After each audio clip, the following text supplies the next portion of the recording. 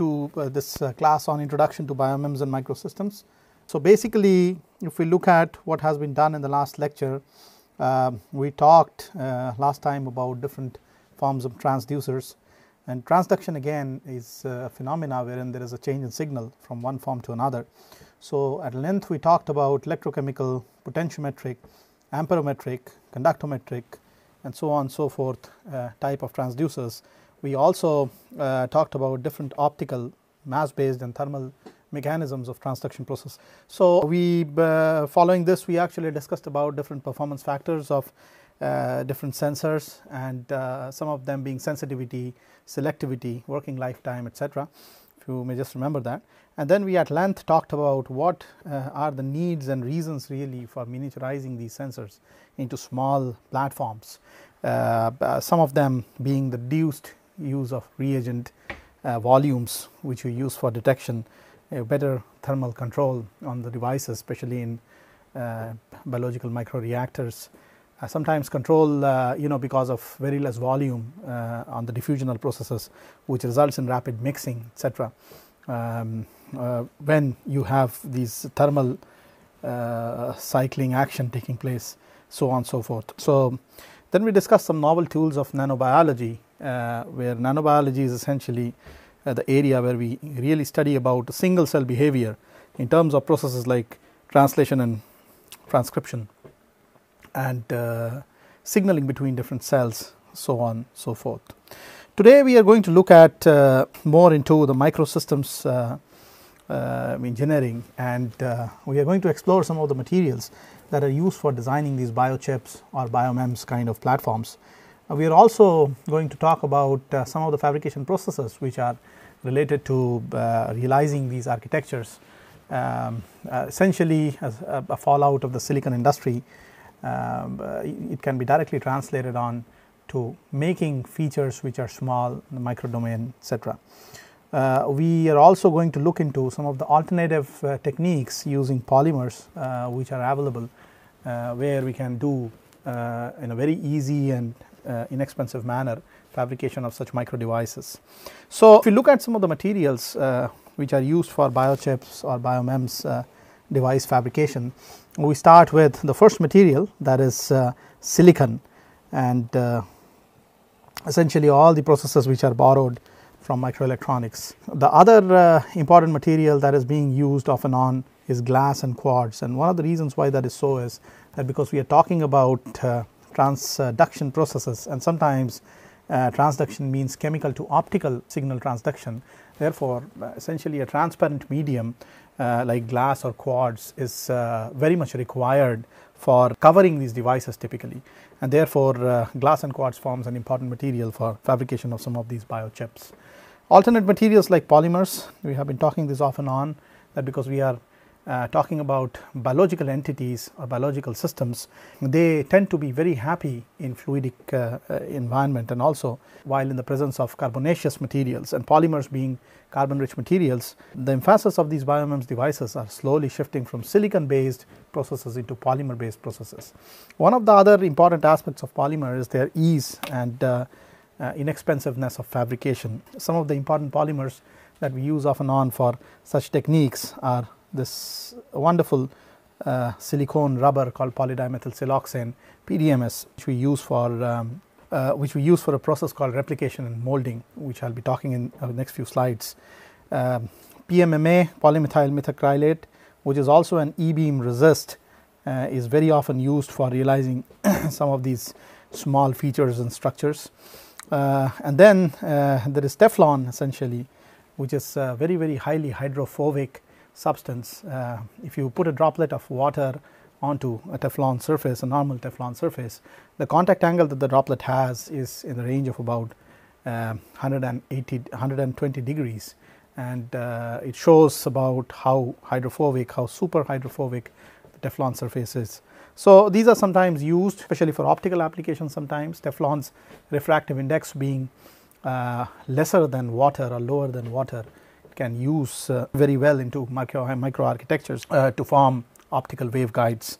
So, uh, these are some of the alternate routes that biomems or biochip chips are fabricated with And then there is this whole new area of trying to realize devices using biological entities themselves.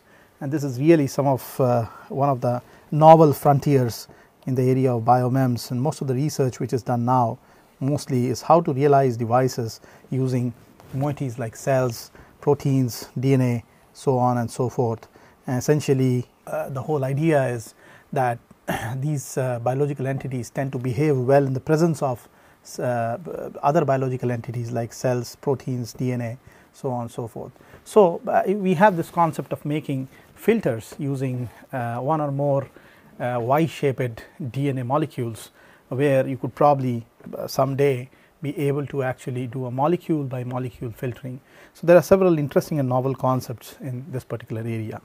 So, let us look into some of the fabrication aspects and we start with what silicon has to offer as uh, a fallout of the microelectronic industry. So, really this, uh, this topic is all about the formation of structures that could be used to form uh, sensors and actuators using um, some of the conventional silicon processing techniques uh, like uh, etching, deposition, photolithography, oxidation, epitaxy, so on and so forth.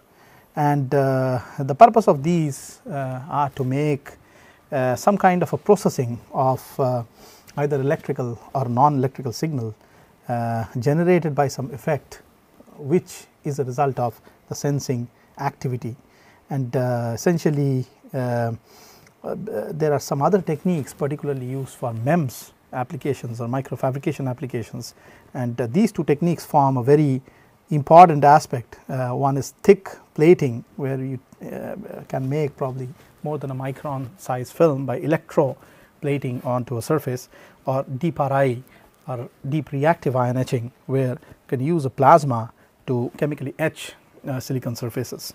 So, uh, as I have been talking about before, uh, if you really classify this uh, whole area of micromachining, you could actually categorize them into bulk and surface micromachining.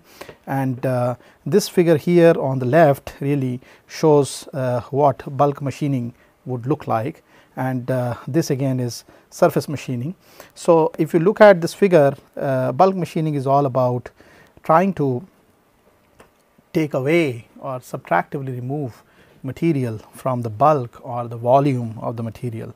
So, this essentially as you see here is a silicon is a cross sectional view of the silicon wafer and uh, this uh, red layer here as you see on the top is uh, essentially a protective uh, sacrificial layer which is used for preventing the etchant solution uh, or the etchant mechanism to go into certain selected areas over the wafer. Where this uh, mask, we call it a mask, a hard mask, where this mask is absent or removed, uh, you have this etching effect due to which material is removed. Like if you see uh, in this particular zone, uh, let us say in this particular zone, this area has been formulated uh, by a cratering effect wherein an etchant has gone in and removed the material through this red mask on the top of it. So, this is what wet etching typically does and if you look at it closely uh, you would find out that uh, there is always an undercut in such an etching process wherein the irrespective of how thick the masking material is there is always a tendency of the material to get removed uh, from underneath the mask to a reasonable extent. So, the idea is that you have to design the mask while designing such kind of etching techniques using uh, or keeping this at the back of your mind. So, the mask size has to be typically a little lesser than the size that you would like to etch away uh, in the silicon material. This is another very interesting example of uh, a high aspect ratio etching wherein uh, gas plasmas um, like uh, gases like fl fluorine and chlorine are used to rapidly take away silicon atoms uh, from the surface using this masking layer again. The advantage in that kind of a mechanism is that if you look at the aspect ratio here, these processes can really make high aspect ratio features and structures. So, and uh, typically with straight edges that is another advantage. And so, there are applications where you need such kind of high aspect ratio structures in MEMS where you can use RI based etching. This again is a very uh, fine example and uh, this is essentially a thin diaphragm which has been realized by using a, a P plus silicon which is achieved by doping of uh, normal silicon. And so essentially you are having a two sided process where on the on the front side you use some etching action to remove this sacrificial layer and on the bottom side you use uh, uh, first to remove the layer and then eat away uh, the silicon material so that you can go all the way up to the P double plus where the etch stops typically and uh, you are left with a very thin film or a diaphragm which can be used for a variety of applications. One application could uh, come offhand is a pressure transducer. So, if you have let us say a piezo material deposited somehow on the top of this thin membrane and you are having this as a part of a circuit where there is a pressure from this end, there is always a vibration, uh, there is always a bending of the diaphragm due to which there is a signal and from that you could calibrate the ambient pressure available from the closed end of the circuit like this. So, these are some of the illustrations where you can see how bulk micromachining is being done. Surface micromachining on the other hand is a is an additive process typically where you are actually building material on the surface of, uh, of silicon. So, essentially these pillars what you see here are built on a surface of this base wafer this mother wafer and this is essentially what surface micromachining is all about. So, another very interesting factor is, is if you see this particular area here you can find out and uh, let me see where the eraser is just give me one minute yeah. So, if you uh, see this particular area here you find out that it has been nicely carved on the inside of a polysilicon film. So, this is actually essentially a polysilicon small layer uh, and you use a sacrificial resist layer here you spin coat this resist and uh, in, a, in a manner that part of the resist stays over and then use uh, deposition technology to deposit a thin film of polysilicon and later on remove the sacrificial material away to realize this small embedded micro channel kind of feature. However, this is also a surface micromachining process because you are considering uh, a thin film uh, which is able to surround a small cavity within itself and thus realizing a small covered microchannel. So, there are several uh, important applications of microfabrication processes. This uh, slide has been borrowed from a textbook written by Professor Marc Madou, uh, which talks about how the various uh, processes can be integrated together to realize things like diaphragms, which we have already seen. So, this is a P double plus uh, a thin membrane and you are etching it from the back side so that the material that you use is essentially an etch stop on P double plus so that it does not go ahead and so you are left with a very thin film here.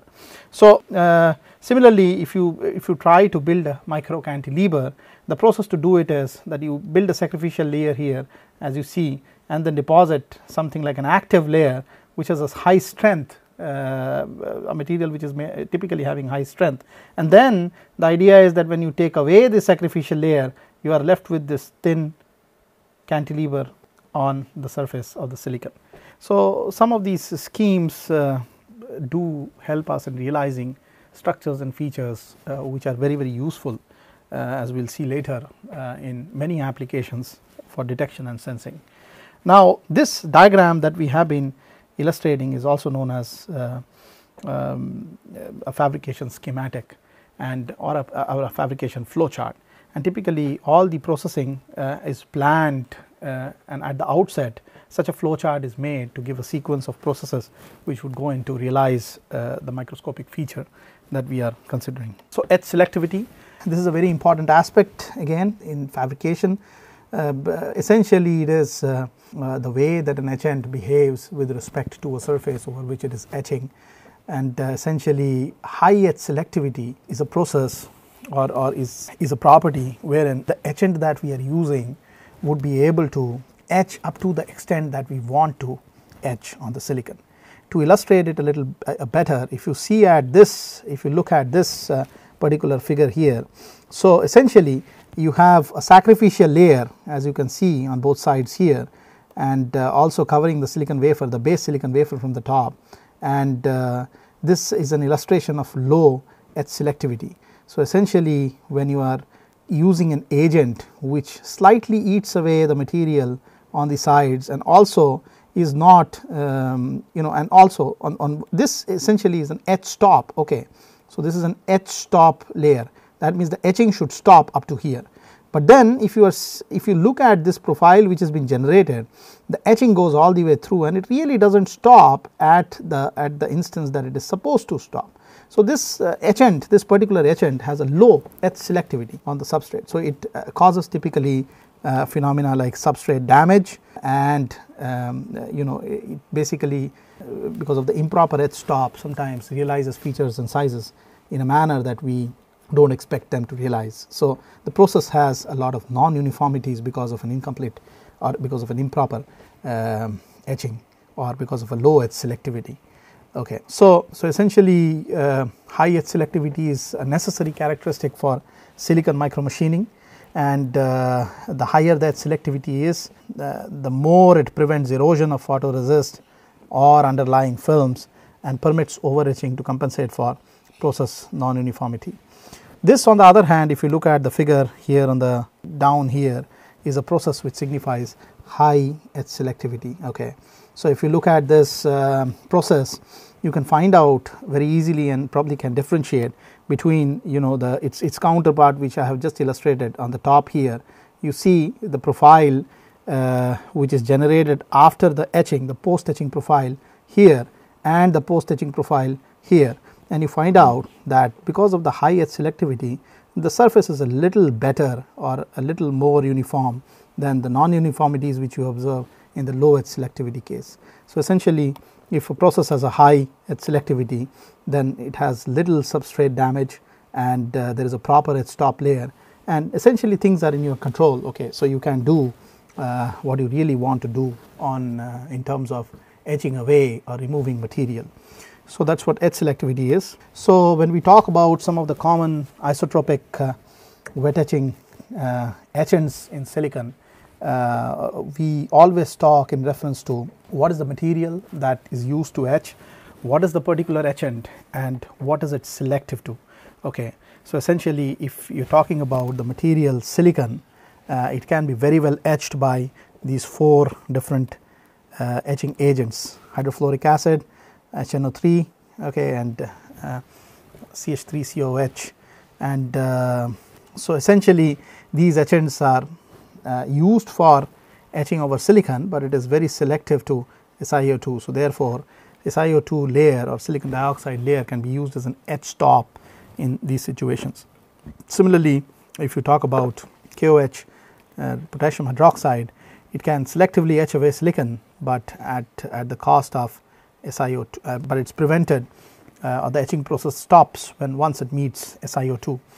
Uh, there are other uh, etchants which are illustrated in this particular table and you can probably go through NH4 HF uh, used for etching SiO2, but it is selective to Si. So, is the immediately it uh, encounters an Si layer the etching process stops so on so forth. So, what is interesting here is there is also such etchants which are used for metals on these silicon or other substrates and one reason why metals are used as uh, probably everybody knows is to develop interconnects between the different part of the circuitry that is uh, being put on such a such a wafer.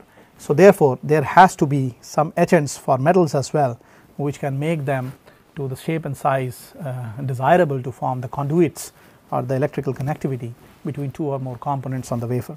So, uh, if you talk about aluminum, phosphoric acid, H3PO4, HNO3 water this combination acts as a very good agent, etchant, but it is selective to again SiO2 that means the moment it uh, encounters the SiO2 the etch automatically stops and this can be a very good masking layer sacrificial masking layer when you want to selectively etch aluminum away deposited on a surface. So, these are some basic processes and uh, we will be looking into a lot more details uh, once we come to the actual fabrication uh, part of the lectures.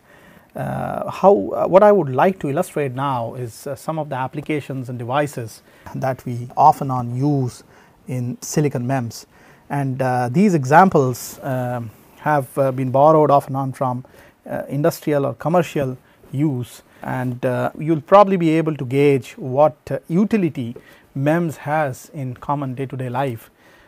so, this figure here if you look at is actually a, a bulk micromachine accelerometer and uh, this figure has been borrowed from silicon microstructures. Um, so essentially in this particular device uh, the basic operating principle is schematically explained in this particular region. If you see here there is a vibrating proof mass which means that this mass is essentially on the top of a pivotal um, kind of structure microstructure and it is able to vibrate. So, as if there is a hanging mass with a point support from the bottom and it is able to vibrate like this. So, it has several degrees of freedom it can probably you know uh, vibrate in let us say this alpha direction on a perpendicular beta direction and then it also can turn and twist like this. So, this is a wonderful structure because such structures can be used uh, uh, to gauge very precisely or very accurately the change in acceleration roll, pitch, yaw and these different physical processes. So, what essentially happens here is if you look into this particular uh, you know setup here. So, these two as you are illustrated here by the, the marks that I am making are a, a part of uh, the proof mass. So, they are like wings coming out of the proof mass. So, this is the proof mass and there are these small wings on all four sides and uh, these uh, other structures which are in between here these other four structures which are in between here are really on the base of the silicon wafer.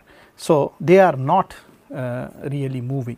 So, the wings which are along the proof mass as the proof mass oscillates and moves also move along with the mass and uh, what happens as a result is that there is a change in capacitance uh, between you know the the wings and this portion of uh, the device because of continuous change in distance and interfacial area. If you all recall uh, your physics days, the capacitance can also be written as k epsilon 0 a by d right?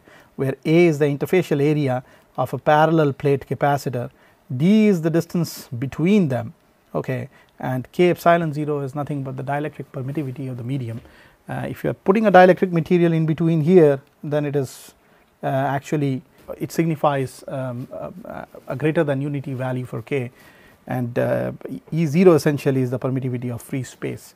Okay. So, as the area between these three structures the interfacial area changes because of this vibration of the wings with respect to the static structure okay and uh, the distance also increases or decreases. There is a change in capacitance and we can actually correlate that change in capacitance to things like let us say acceleration or roll or pitch yaw and so therefore this uh, this this whole accelerometer um, uh, this this whole concept can be used to very sensitively detect acceleration. The advantage here is that because of a very uh, small amount of proof mass that we are actually considering uh, even smallest amount of um, you know change in acceleration or deceleration uh, related to a moving structure can be very easily recorded because of the small amount of mass uh, that is involved. So, therefore, um, it is a fantastic example of what silicon micromachining can do. This is again a very interesting example which I keep illustrating and this is one of the cornerstones of nanotechnology.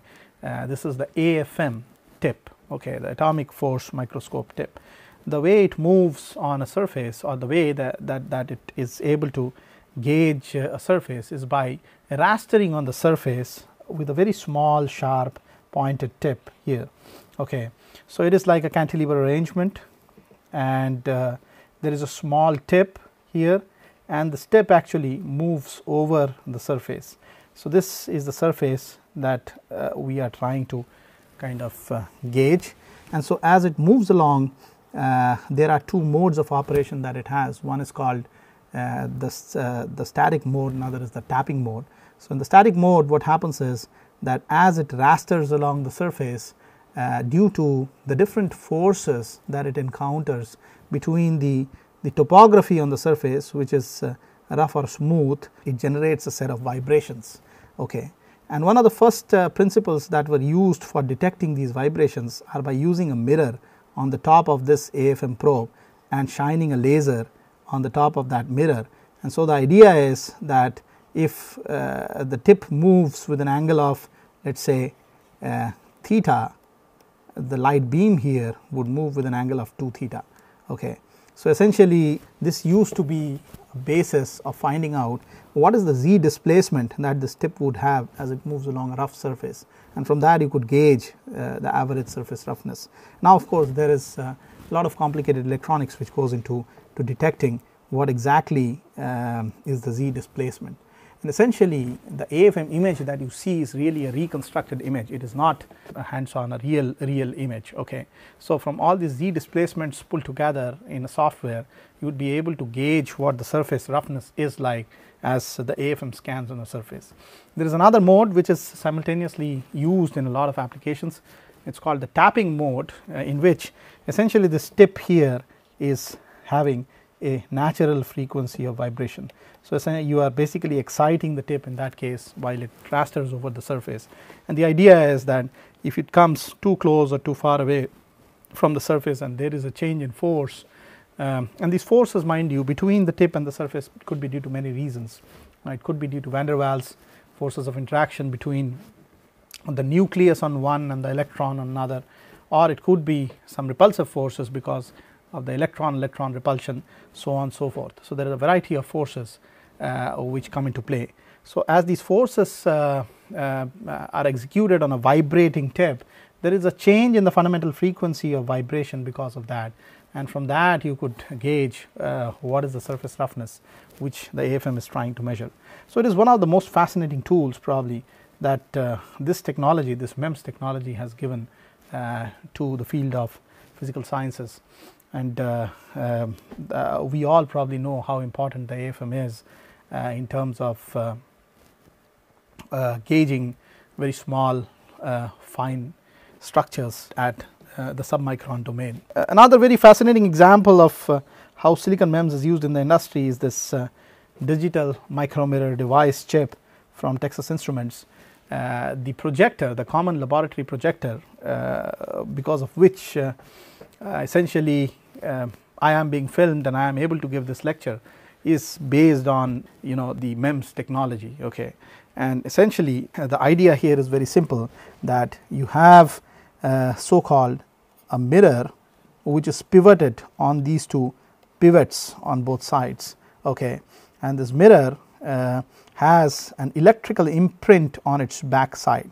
So, we are talking about the small plate here the shiny plate here made up of metal which has an electrical uh, connection on its backside.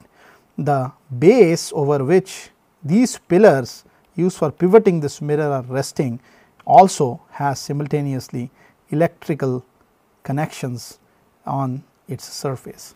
So, if you are considering this thin film which is hanging between let us say two pivotal points and there is a surface on the bottom, uh, there is essentially an interaction going on between the electrodes placed on the back side of this mirror or this film and uh, the surface of uh, the silicon uh, material. Okay. And because of this electrical force uh, there is a tendency of the mirror to rotate about the pivot pivotal point. So, let me just illustrate this a little more clearly here uh, just give me a minute.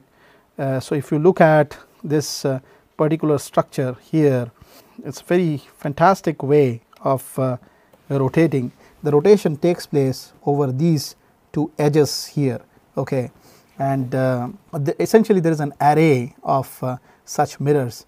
And these mirrors are very very tiny let us say about 10 micron into 10 micron or so. And it corresponds to what you call a pixel okay? And essentially when there is a uh, there is a light beam which is uh, reflected off this mirror we can actually deviate the light beam into the path of the image or outside the path of the image by just deflecting this mirror. So, in one instance maybe the beam which is coming from let us say this particular source goes into one of these mirrors here and the mirror is able to deflect the beam through the lens onto the through the lens onto the screen for the projection. Okay. In another instance because of this electrical actuation the mirror goes out of view and the light is not passed through the lens in the process.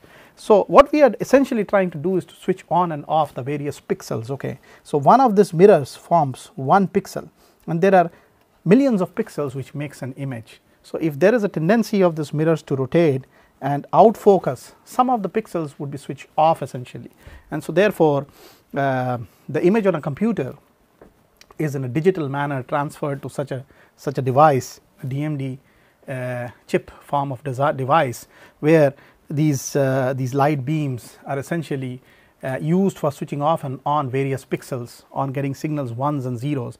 And digitally an image can be transferred from a computer to a to a uh, uh, you know projector. Okay. So these are some of the examples of commercially available silicon MEMS. Uh, let us actually look into a little more of what other applications are possible.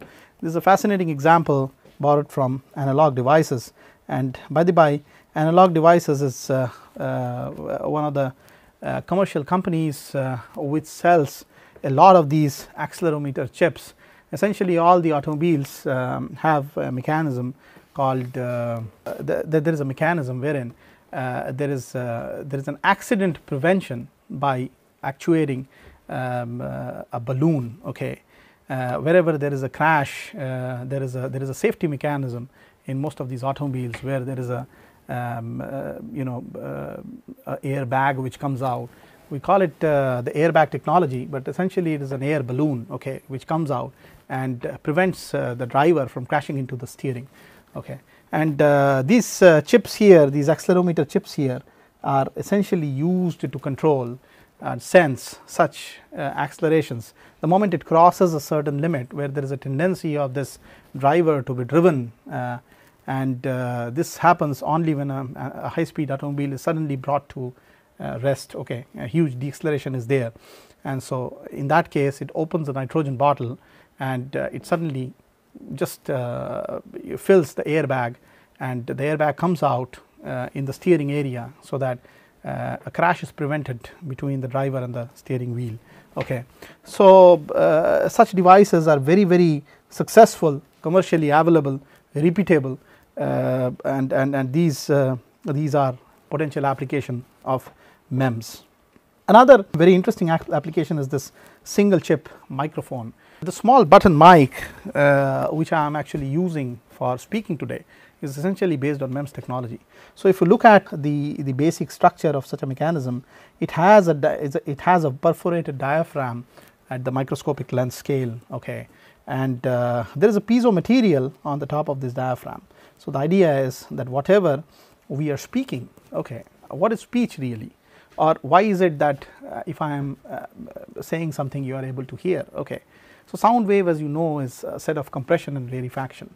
So, uh, when this whole you know when we are trying to communicate we are trying to essentially move the air uh, from uh, you know our, our mouth by various movements of our tongue and creating a series of this compression and rarefaction which goes or emanates from my mouth and that waves goes uh, ahead and you are able to get that same sensation and your ear is essentially a transducer which tries to get a signal based on that. Okay. Now, if you look at the same process uh, in, um, in a silicon microchip, uh, this diaphragm here is a very sensitive uh, uh, you know uh, is, is, a very thin and very sensitive vibration based mechanism where these compression and rarefactions can be really actuated into electrical signals. And that is by means of this piezo layer which is stacked on the top of this, this perforated diaphragm. And so therefore, uh, whatever we are speaking is converted into uh, electrical signals okay? And they are transported uh, long distances essentially. And then you know they can be again reconverted back by again a similar kind of diaphragm which uh, produces the inverse effect. That means the electrical signal is converted back into uh, mechanical vibration. And that is what uh, uh, the speaker essentially does. Okay. The loudspeaker essentially does. So, so that is a very fine example of what again silicon MEMS can do. It's a single chip microphone. So, after discussing this uh, I would like to shift my focus a little bit to uh, polymer MEMS. Okay. And especially MEMS with a perspective of biology okay because the area that we are mentioning is biomems or biochip. So as I indicated earlier uh, in addition to silicon because of the biocompatibility aspects uh, there is uh, you know huge demand of polymer based you know microsystems. Okay. Some of the possible choices that I mentioned before and I am going to reiterate here are polydimethylsiloxane as you can see here in this hydrogels okay uh, very interesting polymer uh, polymeric systems uh, which are used for uh, making these biomems kind of devices. PMMA polymethyl methacrylate Teflon and SU8 is a negative tone photoresist. Uh, in our first lecture we talked a little bit about what negative tone resist does okay? It's basically something which gets exposed to light and gets cross bonded so it can remain uh, so what are the requirements really for material selection or what are the material selection criteria for realizing biomems or biochips so one aspect of course is biocompatibility whether the material we are using is an ideal material for the biological entities to keep happy and function in a normal manner um, then trans optical transparency again uh, within the visible spectrum is a very important aspect of uh, such uh, such systems. Uh, basically, you know the materials, the, most of the transduction processes where we convert a chemical signal into an optical signal involves uh, the reading and reading of light. Okay, so optical clarity or transparency is really one of the major issues which we should consider in material selection for biomems devices.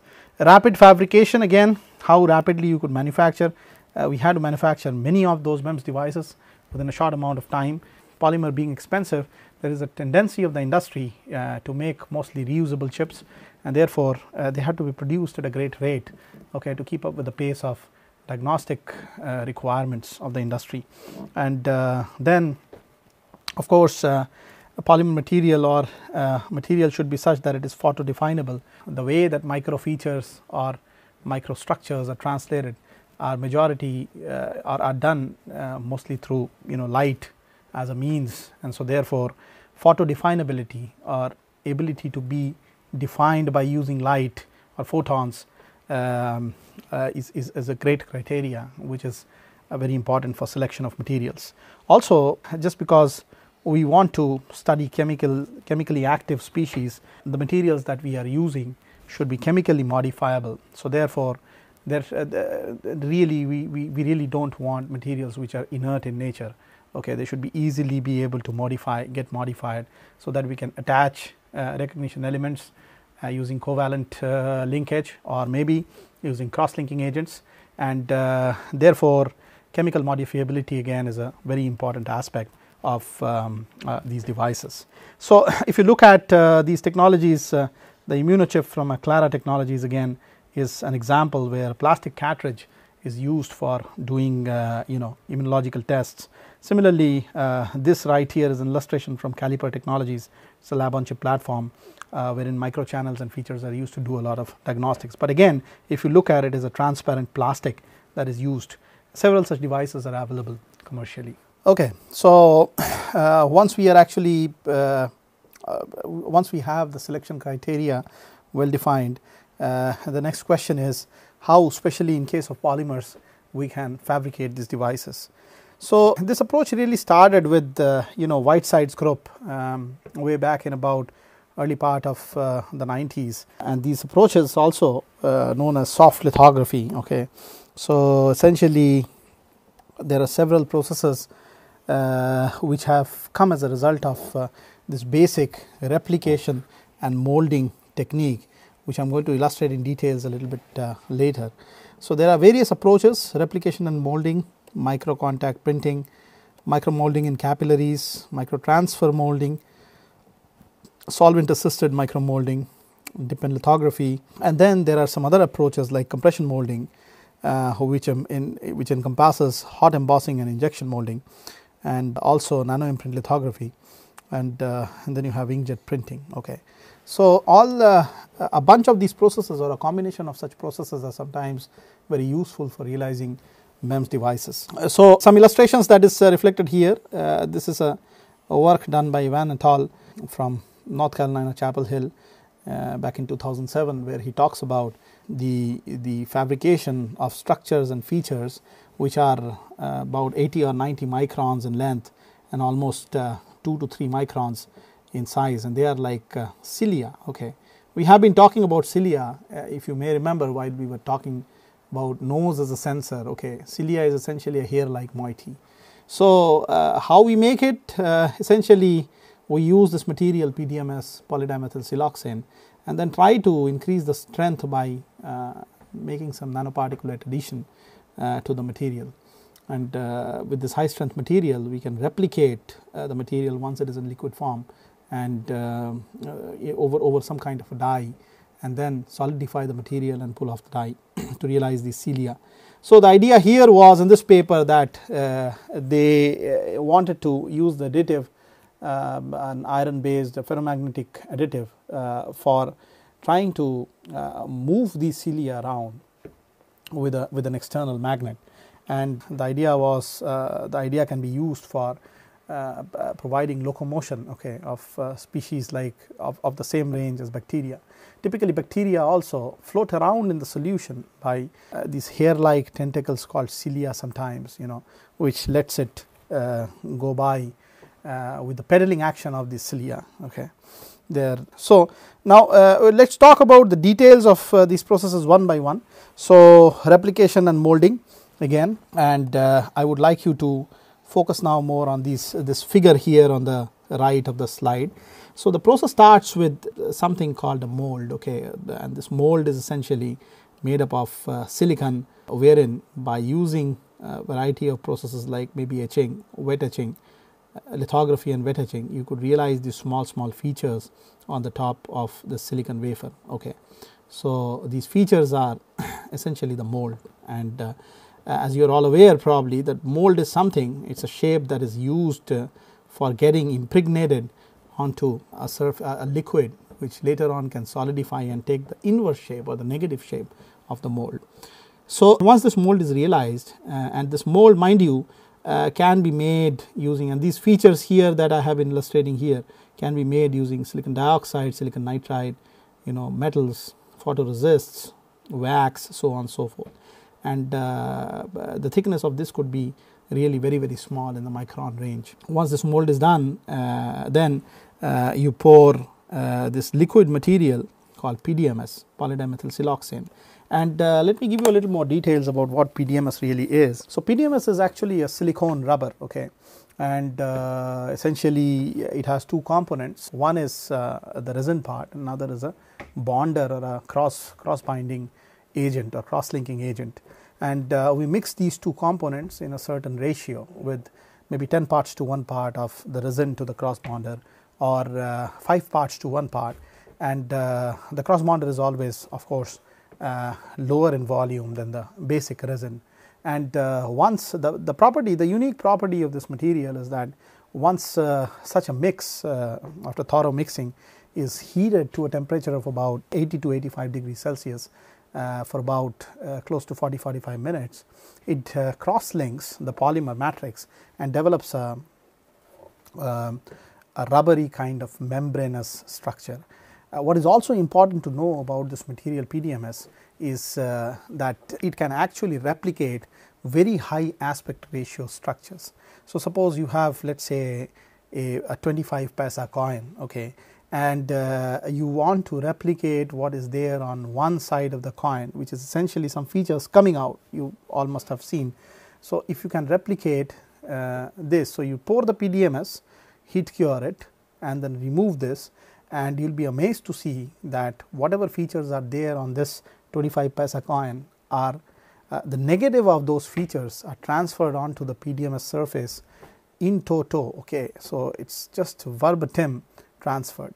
So, uh, that is the beauty. So, it these PDMS is, is, material which goes into all the crevices be it short, narrow, whatever and try to replicate everything very accurately. So, essentially uh, if you look at uh, this slide back again, uh, the PDMS in liquid form is poured over this mold material and of course there are walls on the side which can prevent the flowing back and so therefore um, then you heat cure it of course and uh, the PDMS develops a, rubbery kind of material in this particular area and uh, then uh, you can use you can remove this this material this PDMS from the mold thus the PDMS is left on the surface with a negative of the impression of the mold. Okay. Now these two uh, steps um, need a little bit of pre-processing. Okay, because uh, sometimes it is uh, very important especially if the PDMS uh, layer is thin to keep it in one piece as you are removing okay? And therefore uh, we use these agents called mold release agents okay? So essentially this master when you fabricate you ensure that you treat or you, you, you pre-treat the surface with an agent like let us say trimethylchlorosilane or, or some agent which can prove uh, preferentially do silanization on the surface okay and make the surface uh, hydrophobic in nature okay? So therefore uh, the idea is that you put molecules and you put uh, some groups or linkers uh, or, or, or, or, molecules I would say not linkers on the surface of the mold uh, which is able to um, kind of fight with the with the PDMS molecules okay? So it kicks it back. So the only way to do that is to lower both the surface energies so that uh, you can separate or you can have an easier separation. PDMS by the by is a very methyl rich uh, material with a lot of CH3 groups on the surface and if you look at the contact angle of uh, PDMS uh, material it is about 108 degrees or so. So you get the inverted replica of what you want uh, uh, to you know develop as a mold and therefore um, the mold is planned in a manner which is exactly the negative of what you want as features or impressions onto the PDMS surface. Mold of course can be defined uh, by photolithographic means where you prepare a CAD file, expose a wafer, use a sacrificial layer, do etching or some other processing mechanism and then uh, the mold is realized. Okay. So, some uh, issues with this processes is that you uh, really cannot uh, go using normal PDMS over a certain aspect ratio because if you look at these two typically you know processes or these two products in this case there are these long standing you know arms of the PDMS material and if if they are just hanging by themselves there is a tendency to kind of uh, you know kind of adhere to each other. Uh, one property of PDMS is that it makes fine reversible bonds with any surface that is near about it. So, if you put it on, um, on, on a glass surface or a silicon surface, it, it results almost immediately in a reversible seal. Okay. Uh, so, that is a beauty of this particular uh, material. It being soft, it can conform to the surface of interest very accurately. And so, typically remove all air which comes in between while this reversible adhesion is going on very quickly. This another uh, this is another pitfall that uh, if you want to develop uh, the PDMS in the form of a chamber and then you bond that upper layer of PDMS with a flat surface, you have to be careful about the aspect ratio here because if it is too high then this kind of a problem may happen.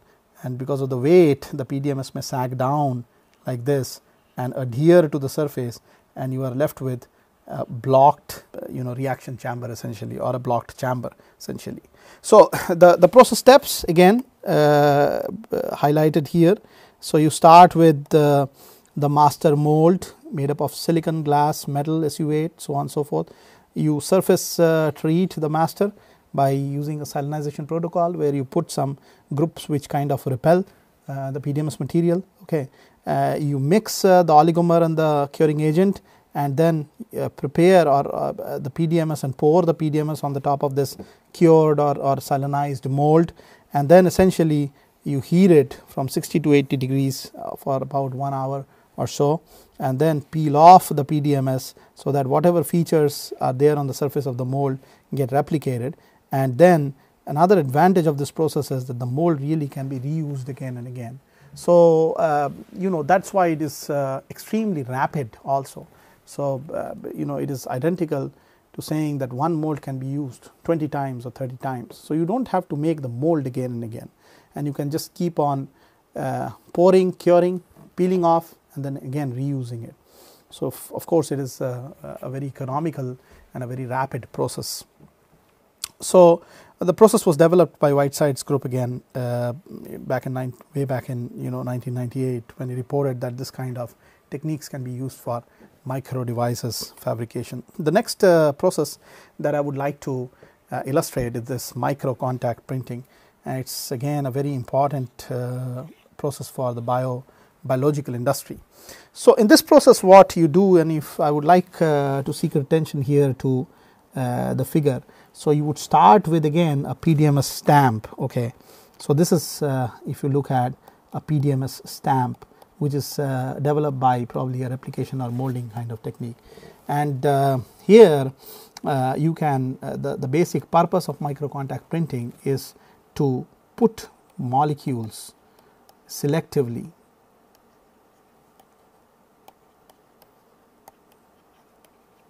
over surfaces like gold maybe okay or platinum. So, the whole idea is that you start with a PDMS replica and then you coat this PDMS replica as you are seeing this region here with some kind of a molecule which you would like to transfer. Now, there can be several kind of things that you could do for this transferring. You could actually transfer alkyl thiols, you could uh, transfer thiolated DNA or thiolated proteins uh, onto the surface. So, essentially something the molecule which has a feature uh, wherein there is an adsorption of uh, a part or a group of the molecule over uh, the surface in question. Okay. And then you have this, uh, this silicon surface which is coated with a thin film as you are seeing here on the top uh, of gold and titanium. Okay. So, essentially what you are talking here is uh, that the you know uh, the titanium is used as an adhesion layer for the gold. Okay. So, you have a small film of titanium on the top of the silicon all through and let me just try to draw it here probably in this region. Okay. And then beyond that you have another thin film this black film of gold. Okay. And so, there is a uh, there is a very highly stabilized structure. And so, what you do is uh, this micro contact printing is essentially a stamping process. Okay. Uh, so, what happens in a rubber stamp? So, you take uh, the stamp right and you put it on an ink pad and you press it on an ink pad so that the ink gets transferred onto the stamp surface and then you take that stamp over uh, on a piece of paper and then put that stamp and wait for the paper to absorb the ink from the stamp surface by capillary effects. Okay. Once it is done you remove the stamp and you find out that whatever was there on the stamp uh, the negative of it has been uh, printed onto the paper. Okay. So, this is an identical process. Here instead of the paper you are using a gold film on the surface and instead of the ink you are transferring thiolated molecules. So, probably some of you are aware that you know uh, a molecule with a thiol group that means SH adsorbs very well on gold surfaces. Okay. So, here we take the molecule and uh, we press the stamp against the gold and wait for the whole you know the reaction kinetics, uh, the reaction of adsorption to happen fully and uh, there is a certain time constant with which it happens and we wait for that time and then pull off uh, the stamp so that we the, the molecules which were there on the stamp get transferred onto the gold surface as small heaps. Now, uh, there is there is an immense amount of use of this process especially when you are talking about hybridization arrays where there is a requirement of putting you know uh, making a, realizing a library of uh, different capture probes for uh, capturing different target DNA molecules, we need uh, in a sense a surface on which we can put these small heaps of molecules of certain types okay? And then uh, we also should be able to know what is there on which column or which row of this matrix or array of molecules that we have created. Okay, so micro contact printing essentially is a very important process for those kind of applications. In sensory uh, science, sensory technologies, micro contact printing is used off and on for uh, such applications. And uh, you could use this process for etching away uh, or depositing and uh, etching away means that you have uh, a layer of these molecules already deposited pre-deposited on the top of uh, a gold surface from which you are probably taking a gold coated stamp and then putting it on and taking away some of the molecules. Okay, so that is etching and deposition is the reverse where you are actually leaving the molecules onto the surface. So, there have been some intelligent designs so far of modifications of this process wherein a high throughput uh, formulation of this uh, molecule laying out on the surface is realized. This is one instance where there is this uh, roller mechanism which actually picks up the molecules from some source probably and then it delivers rapidly onto a surface which also moves in, uh, in a direction conducive to the direction of rotation. Similarly, there is this mechanism again where you can see that the molecules are being transferred from the PDMS stamp onto this PDMS by a, uh, you know by a central cylinder which uh, essentially picks up the molecule and places the molecule on this particular upper PDMS structure. So, in a nutshell the following steps are involved in microcontact printing. You ink the PDMS surface with molecules, alkyl thiols, proteins, DNA, transfer the layer through the physical contact in, uh, in a gold layer and optimize the time so that there is a good amount of uh, time for the adsorption to fully take place and then of course uh, the inking is performed because of that via covalent binding of the substrate on the substrate or physisorption on the substrate and uh, it can be performed on flat as well as curved surfaces. So, this is another important soft lithography process into question. The, the other process which is very important uh, and sometimes used in display technologies is capillary molding. Okay. And uh, essentially the concept is again similar that uh, you essentially so um, essentially uh, the next process that we will be talking about uh, is capillary molding used for micro patterning and probably this and subsequently some other soft lithography techniques we will cover in the next lecture.